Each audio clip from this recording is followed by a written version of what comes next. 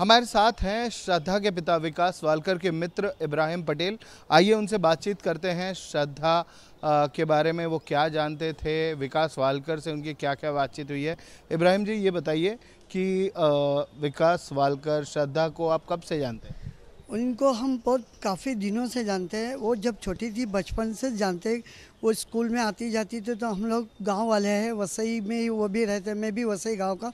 तो हम लोग देखते थे कि ये स्कूल में आती जाती है तो उसके डैडी के साथ आते जाती थी तो देखते थे और स्कूल आते जाती तो देखते थे हम लोग। अभी विकास वालकर जी की क्या परिस्थिति है? कुछ बातचीत हुई आपकी? अभी आज मैं कोशिश किया उनसे बातचीत करने तो अभी तक बातचीत नहीं हो रही है कांटेक्ट नहीं हो पा रहा है। जैसे ही कांटेक्ट होगा तो उनका हाल पूछेंगे भाई क्या क्या है कैसे है उस हिसाब से आप लोग को बताइए। इस हादसे के पहले आपकी कोई बातचीत हुई थी विकास वालकर जी से पिछले कुछ महीनों में या पिछले साल में जब श्रद्धा घर छोड़कर चली गई थी और आफ्ताब के साथ रहने लगी थी? नहीं उस बारे में तो बातचीत नहीं होती थी मगर जब भी हम एक दूसरे को मिलते तो हाई भाई वगैरह होती रहती है। बच्चों के बारे में क्या बोलते थे विकास वालकर? नहीं उसके बारे में कभी उन्होंने पर्सनल लाइफ के बारे में किसी से कभी डिस्कस नहीं किया।